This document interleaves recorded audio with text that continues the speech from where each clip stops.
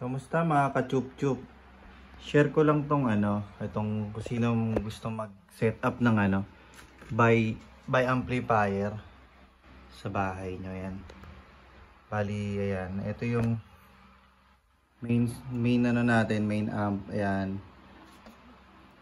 Ayan, galing yan doon yung source yan sa ating laptop. Papasok sa input ng ating main amp.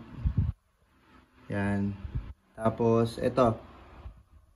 May subwoofer pre-out. Bali, bali itong speaker. Yan.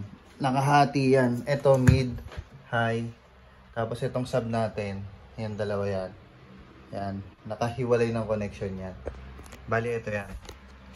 Okay, yung out nitong subwoofer papasok sa input ng isa nating isa nating amplifier. Ito yung magda-drive sa subwoofer natin. Para bali ito sa mid, mid high, ito sa subwoofer natin. Ito yung connection sa likod.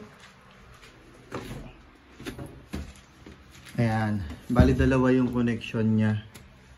Ito yung sa main, mid, high. Ito yan, dalawa yan. Sa left, left, right. Tapos ito yung sa sub natin. Yan, left, right din yan. Left and right. Para nakahiwalay siya.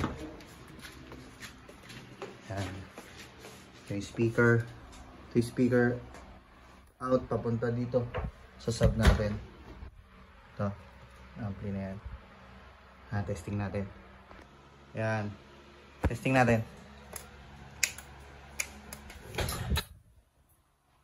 Ito yung main main main amp natin para sa mid saka sa high. Ito yung sa sub. Yan, pure bass lang yan. Ah, para dumaan tayo ng crossover nito. Para walang boses. Pagdating dito, walang boses, pure bass lang yan. Demo ko sa inyo, ha?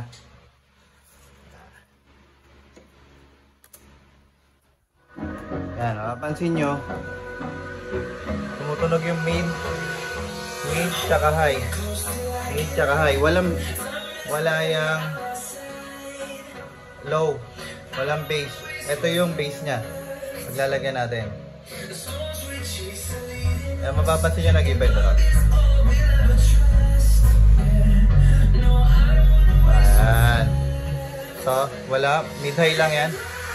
Ito yung bass.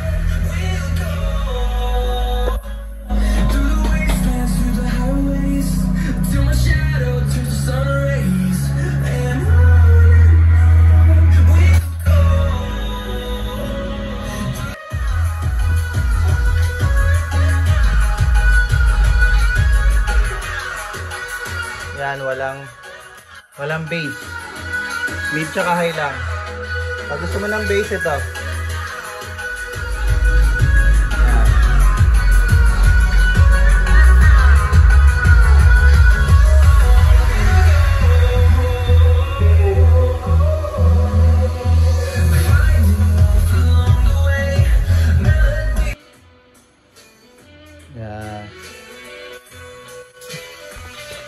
Yan, tumutunog lang. Mid. High. Sa low, wala. Patay yan. Lagyan natin. Lagyan natin yung low.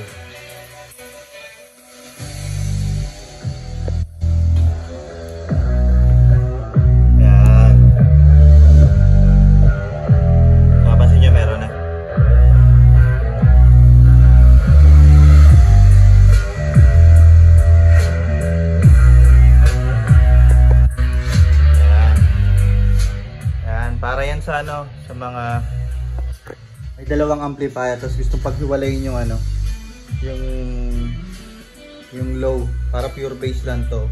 Walang boses. Yan. Magagamit yung crossover ng ganito ng amplifier nyo.